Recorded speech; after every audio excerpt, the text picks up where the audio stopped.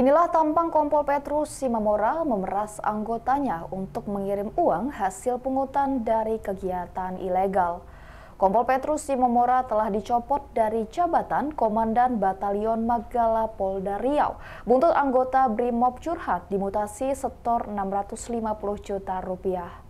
Kompol Petrus dicopot bermula saat curhat Bribka Andri Dharma Irawan anggota Polda Riau yang diduga didemosi tanpa sebab hingga setoran ratusan juta viral di media sosial. Kompol Petrus Hasi Memora Esos memiliki seorang istri bernama Mary Petrus. Sebelum menjabat Komandan Batalion Magala Polda Riau, Kompol Petrus Hasi Memora Esos menjabat Wadan Yon B Pelopor Sat Brimob Polda Riau.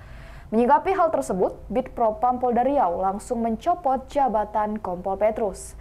Bit Propam Polda Riau juga hingga saat ini masih mendalami postingan curhatan Bribka Andri Dharma Irawan tersebut. Ikuti terus berita menarik lainnya, jangan lupa like dan share seluruh akun Tribun Medan.